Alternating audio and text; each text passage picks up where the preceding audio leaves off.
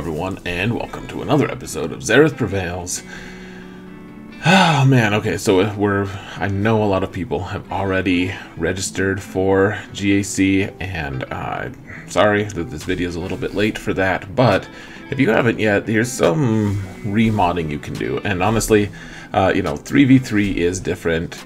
5v5, it's not too different from 5v5. There are just a few different characters that I personally like to target to be a little bit slower uh, or faster in 3v3 than 5v5. So just uh, let's let's go over these real quick. So uh, we got six of them.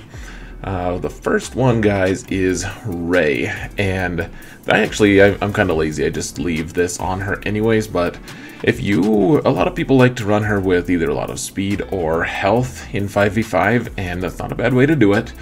I just like her with offense set.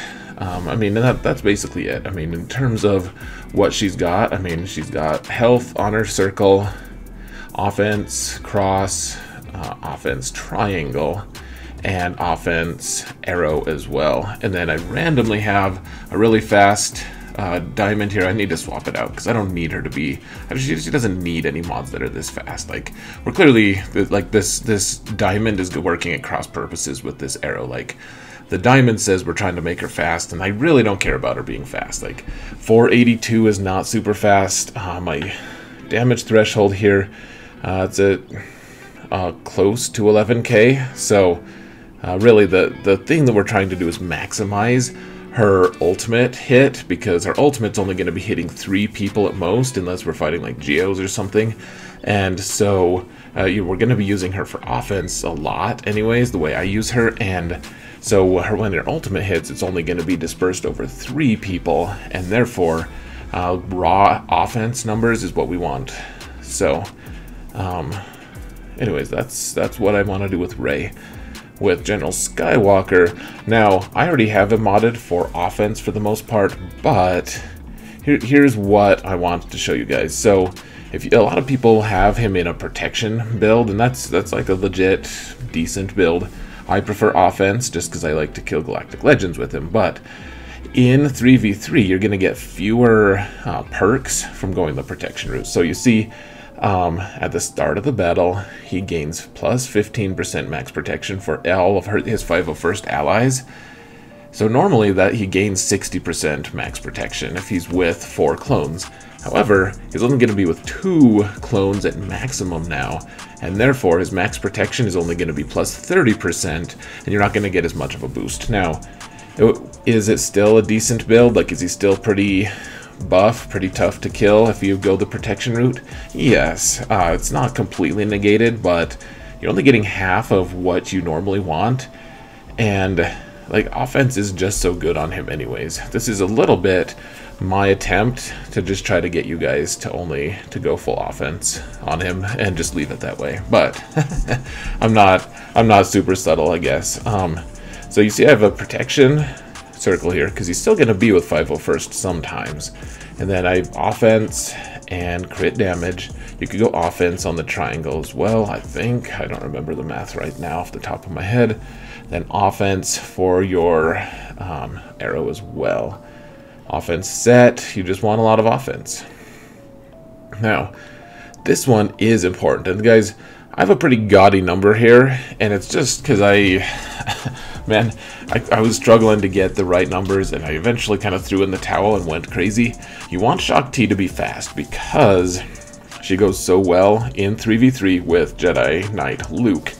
And here's the thing, so Jedi Knight Luke on defense in 5v5 is going to be pretty easy to take out because, uh, or, or let me rewind just a bit. Okay, so Jedi Knight Luke is good uh, against a lot of comps in 5v5, but on defense he kind of struggles because Vader has his number so easily because Vader gets so many bonuses from everyone. So he's not only is Vader getting bonuses from himself and his Empire friends and everyone, um, Vader is also gaining buffs uh, or gaining speed off of Rebels and uh, Jedi. And so against like Jedi Luke teams, especially if like there's old Ben in there, he's getting Vader's getting like plus 48 in 5v5, but Vader is slower in 3v3 because he's only gaining bonuses from a maximum of three characters on his side and a maximum of three characters on the Jedi side. And so it's a lot easier to outrun Vader because he has such a low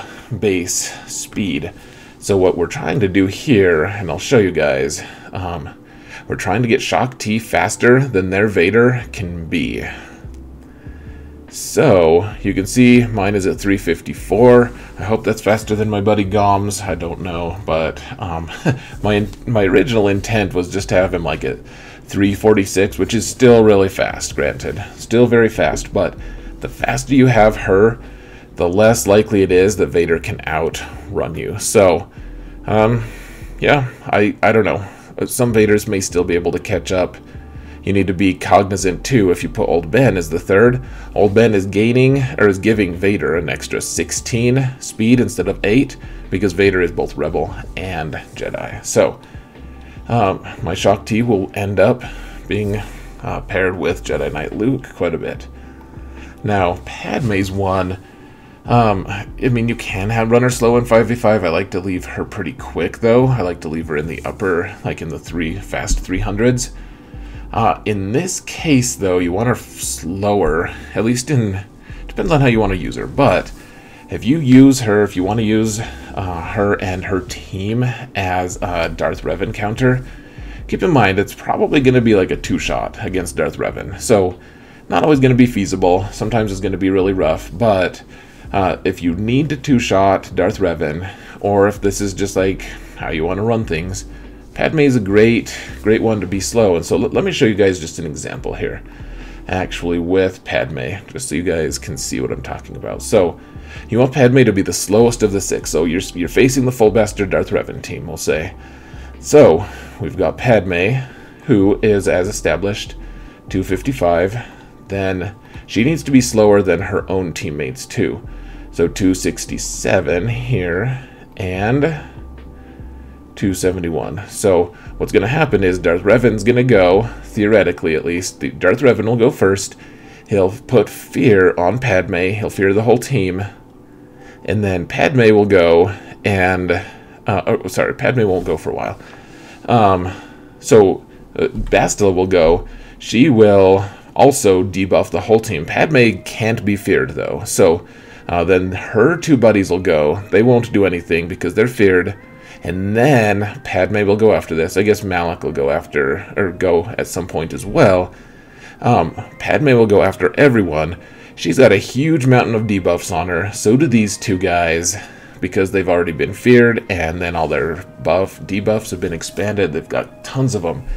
Padme will go. She'll use her buff ability and turn all of those debuffs into stacks of courage or protection up, whatever and her guys will have a huge number of protection up. These guys won't be able to dispel them because they've already used all their sweet moves to do that, and you'll have all these stacks of courage. You can kill Darth Revan and Bastila really fast, and then Malak, well, good luck. You're going to time out against him, uh, I don't know, more than 50% of the time. Or, or he'll just kill you before you time out. So, uh, happy proposition there, but then you can clean up a load Malak doesn't have to be bad, and sometimes you can just kill him right off the bat. So, um, that's how you use Padme in 3v3, or at least how I do. Now, the Brood Alpha is one where I don't like to put a huge amount of, uh, of mod energy into him. I like to make him faster in 3v3 because if you can get the jump on someone, if you can go faster, if you can be faster than like, I don't know, their Dooku or Nute or whoever, if you can get the jump on them, and start getting like ability block on them or whatever things you need, like it's gonna help a lot. So uh, ideally, I think I used to run him at, at over plus 300, um, at 300 plus, but for whatever reason the modding wasn't working. So 291.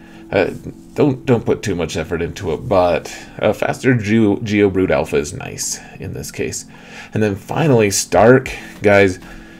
Don't make uh, don't make your Piet slower, but do make your Starck slower. Um, like what I'm going to do, actually, what I want to do, I want to put offense sets on him. He's actually going to go with Piet. You actually do want to be able to still chain with Piet, So uh, make him within like the 20% range. If you guys want to find my troopers video and find the speed equation, that's great. Um, it, it, it works here. So what, what you want to do though, like troopers, troopers aren't that great in 3v3.